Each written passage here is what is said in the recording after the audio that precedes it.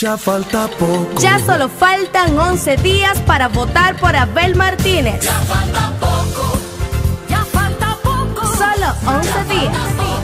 Ya falta poco. Por encuesta o por primarias, Santiago quiere a Abel Martínez. Ya falta poco. Abel Martínez, alcalde.